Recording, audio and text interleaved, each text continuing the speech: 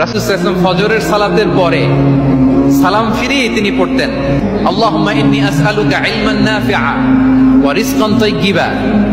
মুতাকাব্বালা। প্রত্যেকদিন ফজরের পরেই এই পড়তেন, আল্লাহ, তোমার কাছে আমি উপকারী জ্ঞান চাই। আল্লাহ, তোমার কাছে আমি পবিত্র রিজিক চাই। আল্লাহ, তোমার কাছে আমি কবুলযোগ্য আমল চাই। আমার আমলগুলো যেন কবুল হয়। এই দোয়াটা করতেন। এই দোয়াটা পড়বেন তো সবাই?